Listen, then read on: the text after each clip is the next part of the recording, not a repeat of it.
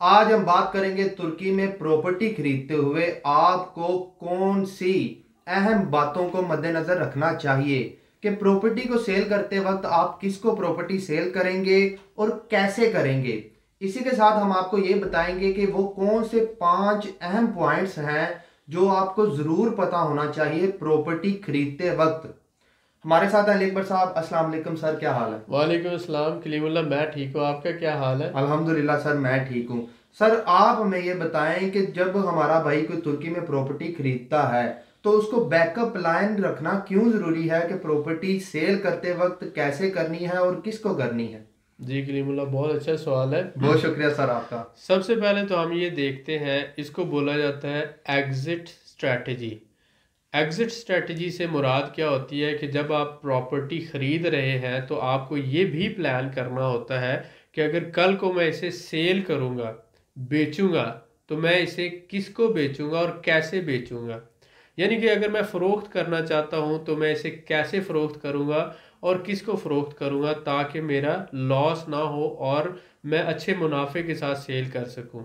तो this is called sales exit strategy तो आप जब बाय कर रहे हैं किसी भी चीज़ को तो एग्जिट स्ट्रेटजी का भी आपने प्लान करना होता है और जेन में रखना होता है। तो आज हम इसी हवाले से इंशाल्लाह आपके साथ शेयर करने जा रहे हैं इन्फॉर्मेशन जैसा कि कलीमुल्ला ने पूछा कि वो कौन से पॉइंट्स हैं, वो कौन से पाँच पॉइंट्स हैं जो हमें जहन में रखने चाहिए तो हम सबसे पहले पॉइंट वन से शुरू करते हैं कि आपको थिंक लाइक लोकल्स आपको लोकल लोगों की तरह सोचना पड़ेगा। लोकल लोगों की तरह सोचने से क्या मुराद है? कि वो एवरेज घर ख़रीदते हैं, जो लोकल लोग हैं। आप देखें कि हर सोसाइटी में बहुत गरीब लोग भी होते हैं और बहुत अमीर लोग भी होते हैं। यानी कि गरीब तबका भी होता है और अमीर तबका भी होता है। और उसके बाद दरमियाना, जिसे हम मीडियम तबका या दरमियाना तबका बोलते हैं, वो होता है, जिनकी एवरेज बाइंग पावर होती है। तो बहुत ज़्यादा गरीब लोगों को और बहुत ज़्यादा अमीर लोगों को दोनों को आपने नेग्लेक्ट करना होता है और आपने एवरेज जो बाइंग पावर वाले लोग हैं, उन्हीं की बाइंग रेंज के अंदर जो घर आते हैं, वो घर आपने ख़रीदना होते हैं। तो सपोज़ करें प्रॉपर्टी है आपके पास तो आपने फोर स्टार या फाइव स्टार प्रॉपर्टी नहीं लेनी, आपने टू स्टार या थ्री स्टार प्रॉपर्टी लेनी है एवरेज प्रॉपर्टी लेनी है वन प्लस वन का घर लेना है, यानी कि एक बेडरूम और आगे एक सीटिंग रूम या टू प्लस वन का आप ले लें, दो बेडरूम और एक सीटिंग रूम वाला। और उसकी नॉर्मल एवरेज प्राइस वाला आपने घर लेना है।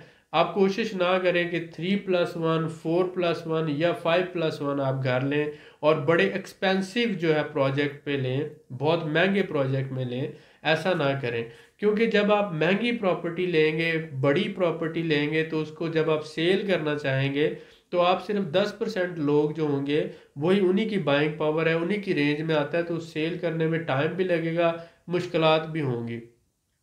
ज़्यादातर सिक्सटी परसेंट जो लोग हैं, वो टर्की के अंदर सिक्सटी टू सेवेंटी परसेंट वो एवरेज बाइंग पावर वाले हैं, जो वन प्लस वन या टू प्लस वन घर खरीदते हैं। तो आपने टू स्टार या थ्री स्टार प्रॉपर्टी लेना है तो थिंक लाइक लोकल ये आपने जहन में रखना है। लोकल की तरह सोचते हुए आपने लेना है कि कल को अगर मुझे तीन साल बाद, चार साल बाद या पाँच साल बाद सेल करना पड़े तो मैं इसको आसानी से सेल कर सकूँ। एक बात। दूसरी बात यह है कि आपने अवॉइड होम ऑफ़िस यानी कि ऐसे घर नहीं लेने कि जिनको आजकल ये कहा जा रहा है कि ये आप घर के तौर पर भी इस्तेमाल कर सकते हैं रेजिडेंशियल भी और एज आप इसको कमर्शियल प्रॉपर्टी भी यूज़ कर सकते हैं, ये आपका होम ऑफ़िस कहलाएगा। तो डेफिनेटली इसकी परमिशन तो है गवर्नमेंट की तरफ़ से, लेकिन आप ये बात देखें कि जब आप होम ऑफ़िस ले रहे हैं तो वहाँ पर ऑफ़िस जो है, वो उसके ऑफ़िस के तौर पर भी फंक्शनिंग हो रही है। टर्किश लोग क्या करते हैं कि वो एक सोसाइटी में रहना पसंद करते हैं। सोसाइटी में जिसके हमसाए भी होते हैं, पास दूसरे जानने वाले भी होते हैं फैमिलीज़ आपस में इंटरेक्ट करती हैं और इस तरह से स्कूल होते हैं और बाकी सारा सिस्टम होता है। तो टर्किश लोग ऐसी जगह पे घर ख़रीदना पसंद करते हैं जो सिर्फ़ रेजिडेंशियल हो और जहाँ पर सोसाइटी आपस में एक दूसरे से घुल मिल कर रहे।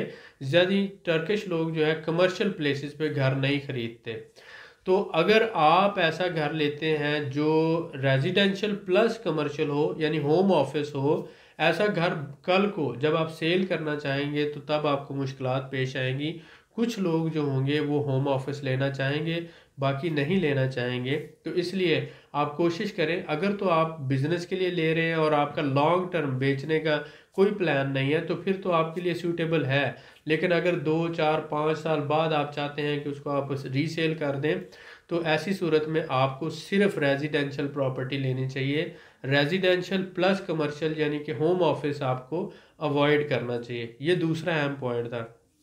तीसरा अहम पॉइंट क्या है कि आपने हमेशा अपना एंट्री लेवल डिसाइड करना होता है कि बाइंग मुझे कब करनी है। बाइंग आप पीक पे कर रहे हैं या बॉटम पे कर रहे हैं या मिड में कर रहे हैं, इससे मुराद क्या होती है कि पूरे साल में एक साइकिल होता है प्रॉपर्टी का। अब जैसे जनवरी, दिसंबर, जनवरी, फरवरी, मार्च के शुरू तक ये एक साइकिल चलता है जिसमें प्रॉपर्टी इंतहाई सस्ती और प्रॉपर्टी की डाउन वैल्यू होती है, एक तो ये। उसके बाद जब अपने अरूज पे होती है, ये जून, जुलाई, अगस्त के महीने होते हैं और उसके बाद फिर नीचे आना शुरू हो जाती है और उसके बाद ये आ जाता है कि जो इकोनॉमी के हिसाब से भी टर्किश लीरा इस वक्त किस पोजीशन पे आ रहा है टॉप पे है बॉटम में है, मुल्क में इकोनॉमिक एक्टिविटी कहाँ पर है तो ये सारी चीज़ों को कंसिडर करते हुए आपने प्रॉपर्टी कब, कैसे और किस से ख़रीदी? ये चीज़ें बहुत अहम होती हैं और आपको ये देखना होगा कि मुझे प्रॉपर्टी कब, कैसे और कहाँ से ख़रीदनी है, साल के किन महीनों में ख़रीदनी है, क्योंकि ज़्यादातर इन्वेस्टर इंतज़ार करते हैं कि जब प्रॉपर्टी की कीमतें आम कीमत से थोड़ी कम हो तो वो अंडर वैल्यू दस या बीस परसेंट अंडर वैल्यू प्रॉपर्टी ख़रीदते हैं, ताकि वो दो, चार छः महीनों के बाद अगर रीसेल करना चाहें या दो तीन साल के बाद भी करना चाहें तो अच्छे मुनाफे के साथ सेल कर सकें। तो इन्वेस्टर हजरात मोस्टली दिसंबर जनवरी फरवरी और मार्च, ये तीन बर्फ़बारी के महीने होते हैं और यहाँ पर मौसम सर्द होता है इकोनॉमिक एक्टिविटी कम होती है तो इसलिए इन महीनों में ही मोस्टली प्रॉपर्टी बाय करते हैं और सस्ते प्रोजेक्ट से बाय करते हैं। तो इन चीज़ों को भी आपने जहन में रखना होता है, ठीक है? उसके बाद आपने ये देखना है कि आप जो चौथा हमारा पॉइंट है, ये है कि don't buy good project at bad location यानी कि बुरी लोकेशन पर अच्छा घर ना खरीदें।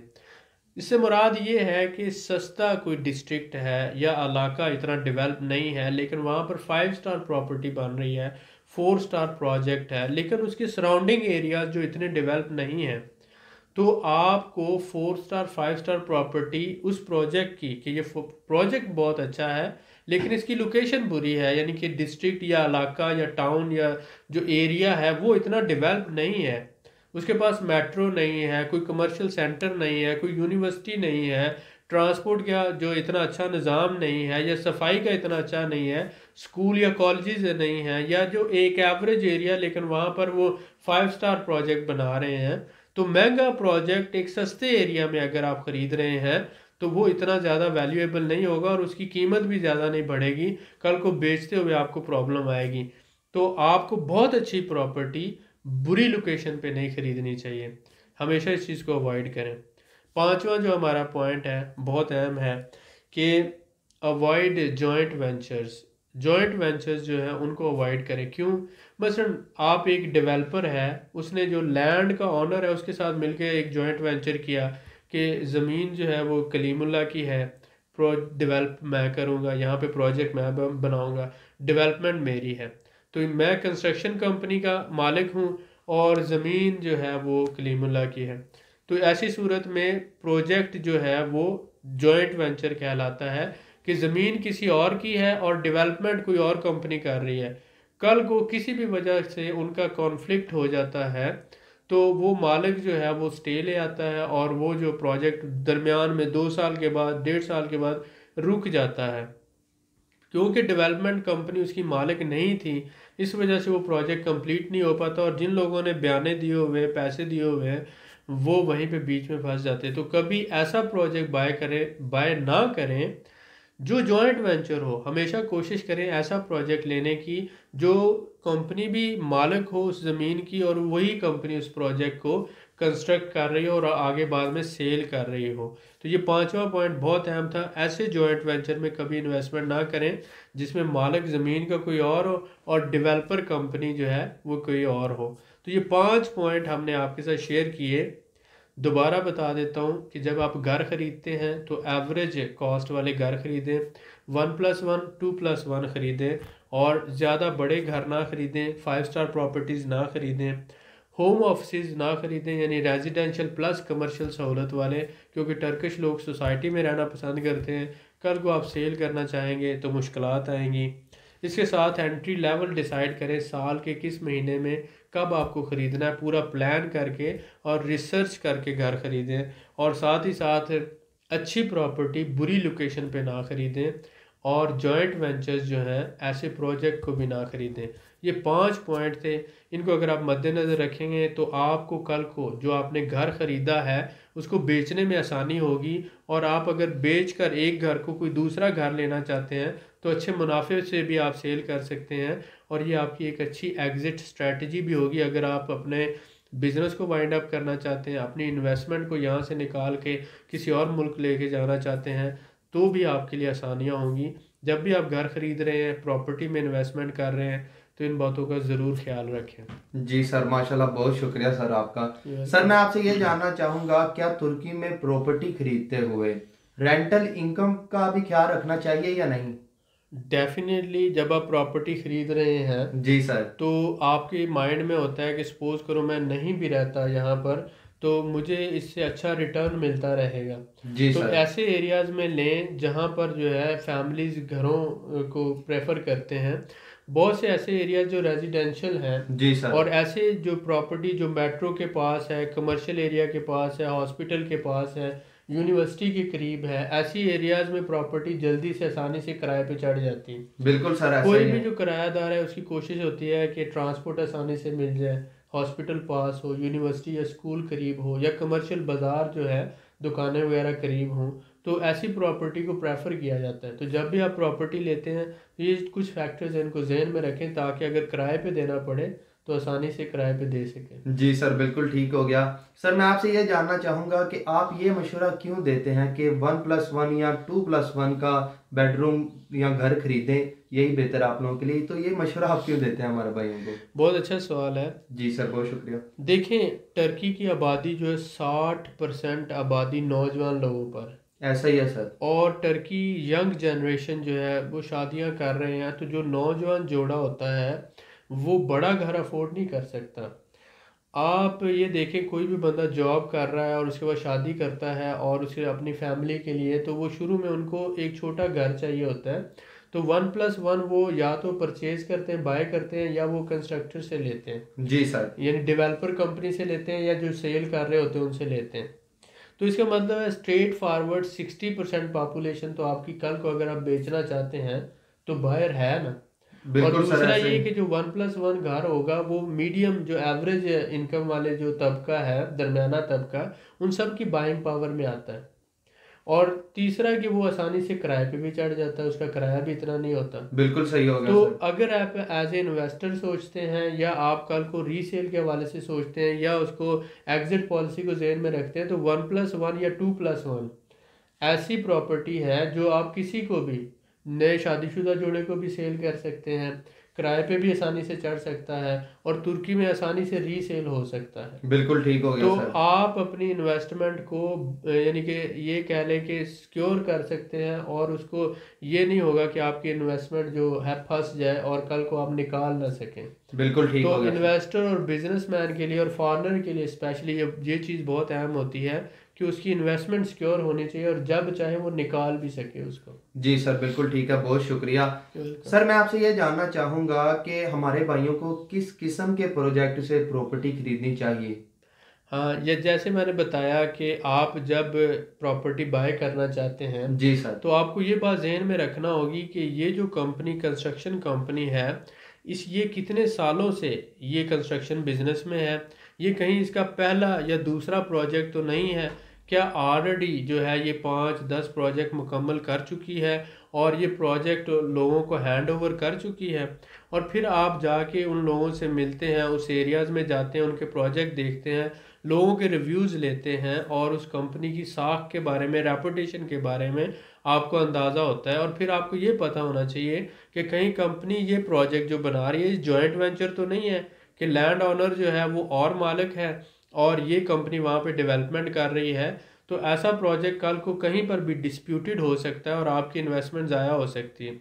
तो आपको अच्छी रेपुटेशन वाली ऐसी किसी भी कंपनी से प्रॉपर्टी लेना है ऐसे किसी प्रोजेक्ट में लेना है कि जिसकी वो अकेली हंड्रेड परसेंट ऑनर हो जी सर। और उसकी रेपुटेशन भी अच्छी हो और वो प्रोजेक्ट जिस एरिया में डेवलप हो रहा है उस एरिया के हिसाब से हो मसलन एरियाज़ जो हैं अगर बहुत डेवलप्ड एरिया है तो वहाँ पर तो अच्छा प्रोजेक्ट चल जाएगा। लेकिन लेस डेवलप एरिया में फाइव स्टार प्रोजेक्ट अगर हो रहा है तो इसका मतलब ये है कि वो अच्छी लोकेशन पे नहीं हो रहा। तो इन सारी चीज़ों को मद्देनज़र रखते हुए अगर आप ख़रीदेंगे अच्छी रेपुटेशन वाली नॉर्मल प्रॉपर्टी और उसके साथ साथ जॉइंट वेंचर ना हो तो डेफिनेटली आपके लिए फ़ायदा मंद होगा। जी सर बिल्कुल ऐसा ही है। सर मैं आपसे ये जानना चाहूँगा कि जैसा कि आपने पिछले सवाल में बात की कि लोगों की बाइंग पावर के हवाले से जी जी। तो मैं आपसे ये जानना चाहूँगा कि तुर्कश लोग किस तरह की प्रॉपर्टी खरीदते हैं? तुर्कश लोग मैंने जैसे बताया कि almost nearly sixty to seventy percent दरमियाना तबका है। जी सर। बहुत गरीब भी जो है कम लोग हैं मसलन कोई दो या चार या पाँच परसेंट होंगे। सही होगा और बहुत अमीर जो हैं वो दस परसेंट या पंद्रह परसेंट होंगे।